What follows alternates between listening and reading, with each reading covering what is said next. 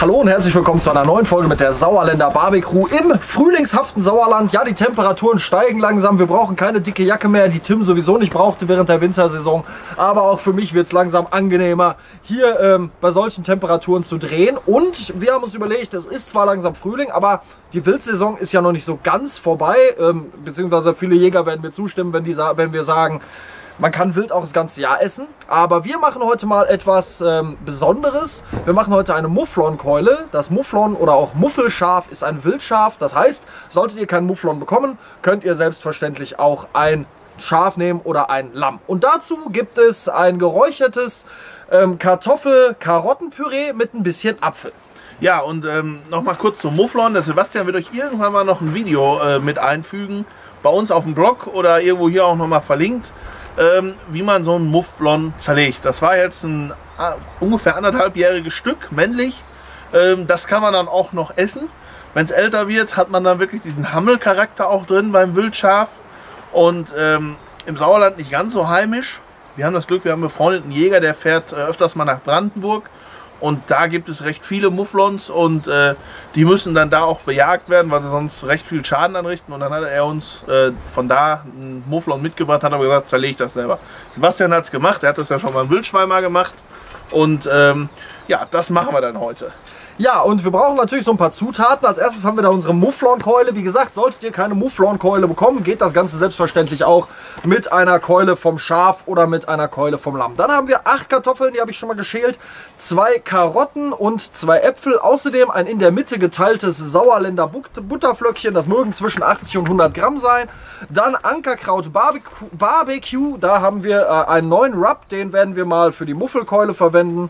Außerdem ein paar Gewürze und zwar die neuen Pfeffersymphonie, ein wenig Muskatnuss und Liebstöckel. Wer uns kennt, der weiß, dass Liebstöckel am Kartoffelpüree unglaublich großartig ist und dass ihr das unbedingt mal ausprobieren solltet. Und ein wenig feines Meersalz sowie eine Flasche mit frischer Milch. Ja, und wie wir das Ganze machen, wie immer am Brett. Wir schneiden jetzt unsere Kartoffeln und ihr seht, ich habe hier schon mal angefangen. Die ganzen liegen schon mal in so einer ähm, ja, Gemüseschale. Die hat den Vorteil, dass wir hier unten so Löcher drin haben. Da kann der Rauch richtig schön durchziehen. Ja, und ich habe jetzt hier meine Kartoffel liegen. Die schneide ich jetzt einfach, in der Mitte durch und dann schneide ich ungefähr gleich große Stücke. Wenn die nicht ganz genau gleich groß sind, ist das auch nicht schlimm. Und ähm, ja, jetzt schneide ich meine Kartoffeln erstmal eben zu Ende und hole euch dann wieder dazu, wenn es gleich mit den Karotten weitergeht. Ja, nachdem wir unsere Kartoffeln geschnitten haben, geht es jetzt mit den Möhren weiter und die schneiden wir auch einfach in solche Stücke. Die können ein bisschen kleiner schneiden wie die äh, Kartoffeln. Schlicht und ergreifend deshalb, wenn ihr die dann nachher äh, zusammen kocht, dann sind die Möhren schneller gar wie die Kartoffeln, weil ansonsten würden die Möhren natürlich viel länger brauchen. Ja, auch die geben wir hier rein und jetzt habe ich gleich nur noch ein paar Äpfel zu schneiden.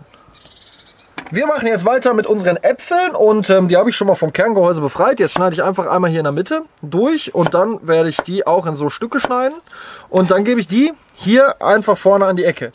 Ja, das habe ich jetzt nur aus rein optischen Gründen gemacht, um euch das mal besser zu zeigen. Also wir haben hier die Kartoffeln, die Karotten in deutlich kleineren Stücken wie die Kartoffeln und dann hier die Äpfel in ein bisschen größeren Stücken wie die Karotten. Und das Ganze werden wir jetzt gleich so, wie es ist, wenn ich mit den Äpfeln fertig bin, auf den Grill stellen und das Ganze räuchern. So, unser Monolith ist vorgeheizt auf 110, 120 Grad und wir haben schon mal die neuen Smokewood Chips heute mal mit Cognac äh, unten reingelegt. Die räuchern jetzt schon vor sich hin und jetzt machen wir einfach hier unseren Grill auf. Ihr seht, da ist ordentlich Dampf drin und dann stellen wir unsere Schale einfach hier in die Mitte. Wenn ihr das auf dem Kohlegrill nachmachen wollt, auf einem Holzkohlegrill, dann müsst ihr einfach nur einen direkten und einen indirekten Bereich einrichten und stellt die dann in den indirekten Bereich und lasst das Ganze räuchern. Ja, jetzt einfach nur den Deckel zu, und warten. Bevor wir unser Mufflon rubben, müssen wir hier die Sehne einmal durchtrennen, weil sonst kann sich die Keule ein bisschen ineinander ziehen und ich schneide die unten ein bisschen ab, weil die Sehne brauchen wir hinter nicht, die Sehne schmeckt eh nicht. Und dann besprühe ich das Ganze mit Öl. Reibe das ein bisschen ein. Das Öl mache ich hier, weil die Oberfläche ein bisschen, ähm, also nicht ganz so feucht war wie sonst. Ähm, dann nehme ich dann das Öl. Das ist in diesem Fall auch noch ein Rauchöl. Das gibt noch so ein bisschen einen besonderen Geschmack. Und dann nehme ich unseren Rub und streue den locker oben drüber. Verreibe den, drücke den ein bisschen an und lasse ihn jetzt mal so 10 Minuten einziehen. Unser Holzbackofen ist etwa auf 200 Grad vorgeheizt und wir legen jetzt unsere Mufflonkeule rein. Wir haben eine Tropfschale reingelegt ähm, mit Wasser drin. Das Wasser hat den Grund, da können wir hinter die Schale schöner reinigen. Und ähm, das wird jetzt so ungefähr eine anderthalb Stunden dauern, schätze ich mal. Wir werden zwischendurch mal eben messen, äh, wie die Kerntemperatur ist. Ähm, aber wir holen euch dann dabei, wenn es äh, hier wieder was zu sehen gibt. Und äh, ja, dann geht es jetzt weiter mit dem Kartoffelstampf. Wir schauen mal, was unser Gemüse jetzt nach 20 Minuten so sagt. Und wir sehen, das sieht gut aus. Ja, das Ganze ist ein bisschen zusammengeschrumpelt. Ihr seht das hier besonders bei den Karotten. Und ähm, wenn wir uns mal die Kartoffeln angucken, dann sehen wir hier so einen richtigen Rauchrand, die die, die bekommen haben. Auch die Äpfel hier vorne. Und ähm, ich nehme das Ganze jetzt runter, pack das nochmal so kurz mit ein bisschen Wasser in den Topf und ähm, kocht das Ganze dann noch gar. Und dann sehen wir uns wieder, wenn wir den Stampf dann fertig machen.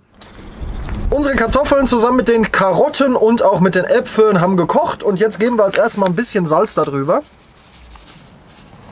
Als nächstes den Liebstöckel ungefähr einen Teelöffel. Muskat auch wieder etwa ein Teelöffel. Wir machen jetzt anderthalb dran, weil wer uns kennt, der weiß, lieb, äh, wir mögen einfach Muskatnuss unglaublich gerne. Um das Ganze ein bisschen abzuschmecken, noch eine ordentliche Portion Pfeffer. Jetzt das geteilte Sauerländer Butterflöckchen oben drauf geben. Und das Ganze einmal einstampfen und dann geht es gleich weiter mit der Milch. Ja, und jetzt seht ihr das hier schon, das hat schon eine schöne Konsistenz. Und bitte, bitte, es ist ein Kartoffelstampf. Es ist kein Püree und es ist kein Kleister. Also bitte nicht mit einem Pürierstab oder sonstiges da dran gehen. Nehmt einen guten alten Kartoffelstampfer und stampft das durch. Ja, wie gesagt, die Konsistenz ist schon fast gut. Ich gebe jetzt einfach nur einen Schuss Milch dabei und rühre das Ganze noch ein, sodass wir eine richtig schön cremige Konsistenz haben in allem.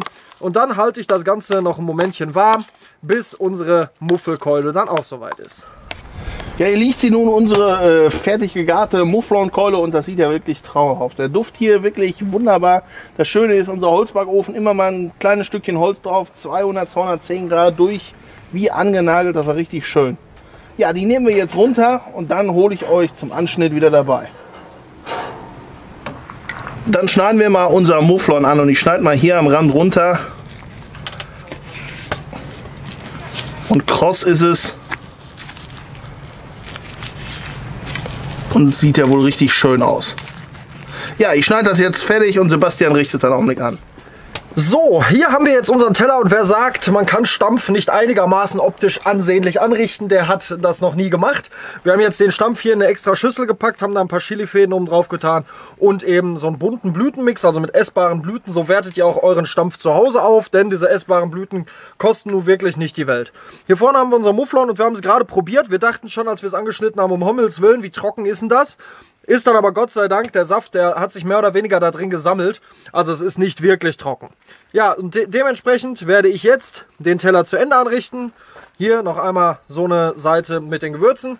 Ich mache euch jetzt ein Tellerwild, wir werden essen und dann sehen wir uns zum Fazit wieder. Ja, ihr Lieben, das war sie. Unsere Folge mit der Mufflonkeule, der Muffelkeule oder auch der Keule vom Mufflonschaf. Du muffelst ein wenig. Ja. Nein, also ähm, kommen wir jetzt mal zum ernsten Teil. Naja, ernst nicht ganz, aber es war wirklich super lecker. Ähm, und ich sage, der Stampf war wirklich super. Also man karichte schön, hat einen Rauchgeschmack dran. Ich habe, ich, hier, unser bekennender Obsthasser, habe zu Sebastian gesagt, hätten ruhig noch zwei Äpfel mehr reingekonnt. Ja, also äh, diese fruchtige Komponente, man hat ja diese zwischendurch diese Apfelstückchen da drin. Probiert das unbedingt mal aus. Das schmeckt wirklich total großartig. Dann alles geräuchert. Man hatte diesen, diesen Rauchgeschmack in diesem Stampf drin. Die Milch hat das ein bisschen abgemildert. Aber es war wirklich, ja, großartig. Äh, solltet ihr unbedingt mal ausprobieren. Und das Mufflon, ja, Wer Wild mag, wird Mufflon lieben, werde ich sagen. Also es hat schon einen Wildgeschmack. Ihr schmeckt, dass es ein Wildtier ist. Und ähm, hat einen unverkennbaren Geschmack. Ich bin da jetzt nicht so unbedingt immer der große Fan von. Also von der Keule, ich habe zwei Stücke gegessen. Da hat es dann aber auch gereicht. Dafür habe ich ein bisschen mehr von dem Stampf gegessen. Ähm, aber auch die war gut. Und wie gesagt, wer äh, Mufflon oder wer allgemein Wild gerne isst, der wird da auf jeden Fall auf seine Kosten kommen. Ja, ich bin, also was Wild angeht, recht schmerzempfindlich. Einzige, was ich nicht mag, ist Fasan, aber da sind wir beide wieder mal auf einem. Ja. Ähm, aber sonst wirklich super und die Kombination aus dem geräucherten Kartoffel, Karotten, Apfelstampf und dem äh, und der Mouflonkeule zusammen wirklich richtig lecker. Ja, wir hoffen, euch hat das Video gefallen. Ihr gebt uns vielleicht einen Daumen nach oben, ein gefällt mir bei Facebook und im Idealfall klickt ihr da unten auf Abonnieren und abonniert unseren Kanal. Wenn ihr da unten eh gerade schaut, dort findet ihr auch den Link zu dem Rezept. Den habe ich euch zwischendurch schon hier oben eingeblendet. Da einfach mal auf das i klicken, was ihr oben an der Seite findet. Da kommt ihr dann direkt auf unseren Blog sauerländer-barbecue.de. Da findet ihr selbstverständlich das Rezept zum heutigen Tag und uns bleibt nichts anderes zu sagen als Nicht vergessen, bleibt neugierig auf Essen und bis zum nächsten Mal mit der Sauerländer Barbecue.